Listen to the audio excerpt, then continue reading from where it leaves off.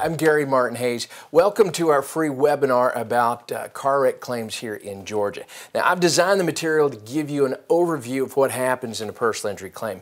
And if you've never been involved in a car wreck, you are very, very lucky. But chances are you're watching the video now because you or a loved one has been injured in a wreck. The trauma of the impact alone, that's frightening enough.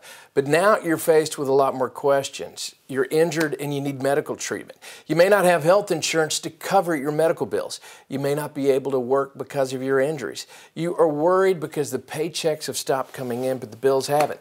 And you may be left without a car. So where do you turn? What do you do next? What are your rights? And what are the insurance company's responsibility? Well, in this video, I'm going to show you the following. The three things you must prove in a personal injury claim. How we can get you the medical treatment you need even if you don't have health insurance. The top five things I recommend you do when you go to the doctor for treatment for your injuries. What is your case really worth? And finally, do you try and take on the insurance company and their lawyers by yourself? So let's get started with our first topic. What are the three things you must prove in a personal injury claim? Well, we have to establish the following. Someone was negligent in causing the wreck, someone besides yourself. We have to prove that the person's negligence was the proximate cause of their injuries. We have to show the injuries and damages that were sustained as a result of the wreck.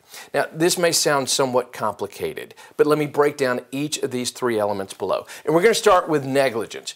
We have to prove that someone besides yourself was at fault for causing the wreck. This is often referred to as negligence. For example, when the defendant crashes into the back of your car because they were riding your bumper and tailgating, they were negligent as they did not maintain a uh, safe following distance or they failed to keep a proper lookout of the road ahead. Okay, the second thing we have to prove is proximate cause. Once we prove the other driver was negligent, then we must show that their negligence was the proximate cause of your injuries. Now, I know this sounds somewhat confusing. How could their negligence not cause my injuries? Well, here's an example. Assume you're stopped at a light. Another car stops behind you. We'll call that vehicle two. All of a sudden, vehicle three comes along and crashes into the rear of vehicle two, forcing that vehicle into the rear of your car. Well, your car is damaged and you're hurt because vehicle 2 was forced into you. However, vehicle 2 was not the proximate cause of your injuries. They were not negligent in any way. Their vehicle was pushed into you because of the negligence of driver number 3. Therefore, you don't have a claim against vehicle 2 because they didn't do anything wrong to proximately cause your injuries. Your claim would against uh, would be against vehicle 3. All right, now finally, we have to prove damages. And your damages could include the following: past and future medical bills, like an ambulance bill, emergency room physician, radiology, medical doctors and specialists, chiropractors, physical therapy bills, prescriptions. Damages could also include past and future lost wages, pain and suffering, emotional suffering. Now, let me say this. In some situations, we may even seek what are called punitive damages. The purpose of punitive damages is to punish, penalize, or deter the defendant from repeating the conduct. For example, punitive damages can be sought in wrecks where the defendant was driving their vehicle while under the influence of alcohol, or the defendant causes a wreck and attempts to flee the scene of the wreck. All right, next topic. How can we get you the medical treatment you need even if you don't have health insurance? Well, there are two ways that we can help. Let me show you. First, we will look at your automobile policy to see if you have MedPay coverage on your insurance. Now, what is MedPay coverage? This is like health insurance on your car. We get a copy of your insurance declarations page to see if you purchased MedPay coverage, and it is sometimes listed as MPC. If you have this coverage, your insurance company will pay for reasonable and necessary medical expenses up to the limits of your policy, regardless of who is at fault. Now, if you have MedPay coverage, we just submit the medical bills to your insurance company to get them paid. Well, what happens if we review your auto policy and you don't have MedPay coverage? How can we get you the medical treatment you need for your injuries? Well, we use a medical lien with your treating doctors. what is that? Well, an experienced personal injury attorney can help you find a doctor that is willing to treat you through the medical lien. This is essentially an agreement between you, the person that is hurt in the wreck, and the doctor. So even when the personal injury claim settles, the attorney agrees to pay the doctor's medical bills from your personal injury settlement. Now, in most cases, doctors are not willing to treat a patient on a lien basis unless they know they have an attorney to protect the doctor's bills. Now, I have been practicing in the personal injury field gosh, for over 30 years. I teach other lawyers how we handle these cases. I even wrote the number one best-selling book, The Authority on Personal Injury Claims in Georgia. Doctors know doctors trust us. They know us, they trust us because of our experience and our reputation in this field. They know that we're going to fight to get our clients the maximum recovery possible for their injuries, so they're willing to take the risk. And let me stress this, uh, this is extremely important to you. It's about your health. If you have been injured in a car wreck, it is so important that you get prompt medical care for your injuries. And this should be done regardless of whether or not you plan on presenting any kind of claim against the at-fault party's insurance company. You had your health before the wreck and you need to get that back as best you can. And if you are hurt in a wreck and you plan on pursuing a personal injury claim, don't delay in seeking medical treatment. The insurance company will use any kind of delays that happen between the time of the wreck, the date of the wreck, and your first medical treatment to try and diminish the value of your claim. All right, next topic. Here are the top five things I recommend you do when you go to the doctor for treatment for your injuries. And here they are. Number one, tell the doctor all about your injuries, all of your injuries. You're not being a whiner, you're not being a complainer. It's important for the doctor to know what is wrong with you so he or she can treat you. Two, keep all of your medical appointments. Three, comply with the doctor's treatment recommendations. Four, keep your attorney updated about your medical treatment. And five, keep track of all your doctors and all of your medical bills. Your medical records, your bills, they are so important and an integral part of the demand package that is sent to the insurance company as a part of your personal injury claim. Now, Another topic, what is your case really worth? And this is one of the most asked questions of my clients. I even saw a lawyer's ad on television the other day where they say, call me to find out what your case is really worth. Well, here's a news flash. There is no way any attorney can tell you what your case is worth over the phone, especially if your case just happened. Let me tell you why. Uh, you need to run from anyone that pretends to, to know the answer because they don't know enough of the important facts to provide you the answer. And if anyone could tell you the answer as to what your case is worth, I could. Uh, we've recovered nearly $1 billion for our clients since 1993. Before 1993, I used to represent insurance companies and the drivers that would cause these wrecks.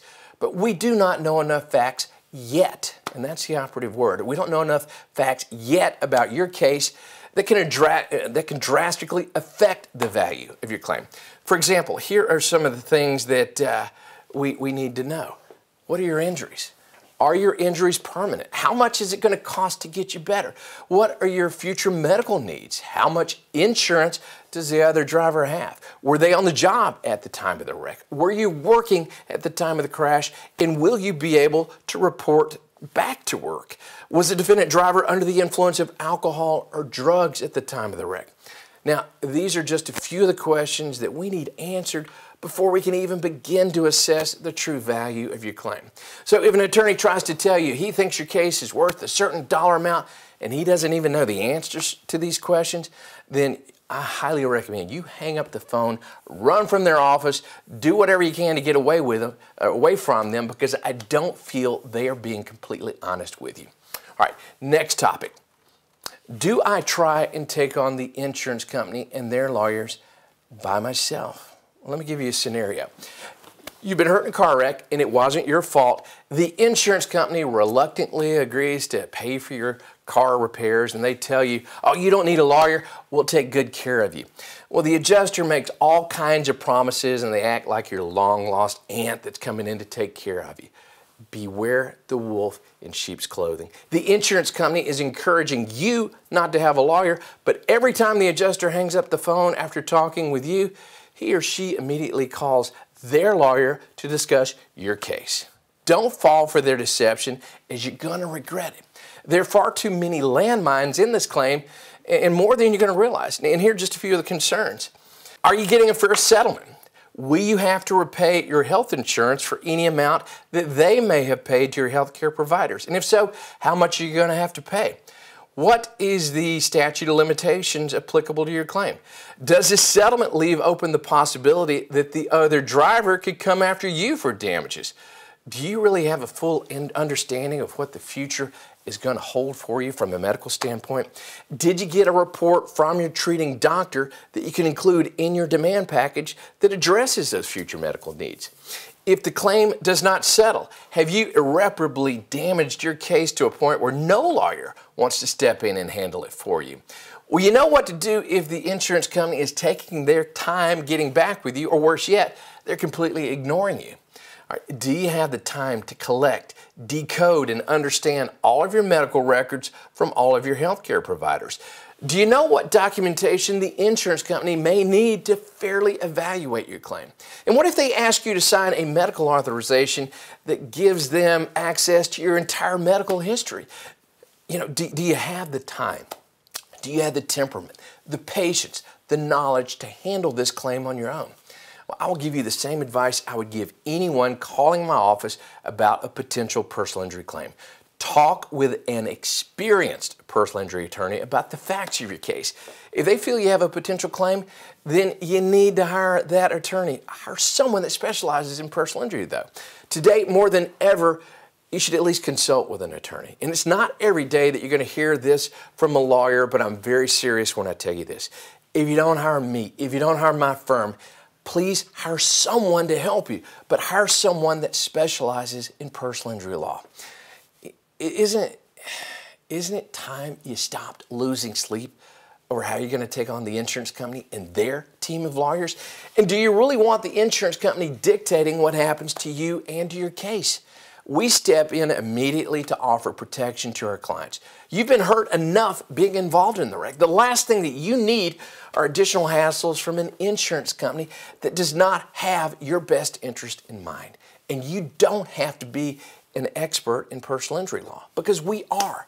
Our goal is to develop an open, honest, trusting, and cooperative relationship with all of our clients so we can lead you through the medical treatment and then through the settlement process. We pride ourselves on being caring, supportive, and reassuring with our clients. Let our team of experts go to work for you.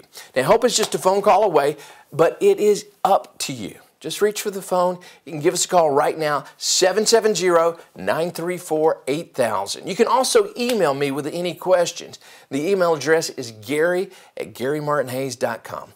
Look, there is no obligation. Your inquiry is completely confidential. You have nothing to lose by calling us, but think of all you can lose if you don't. I look forward to speaking with you.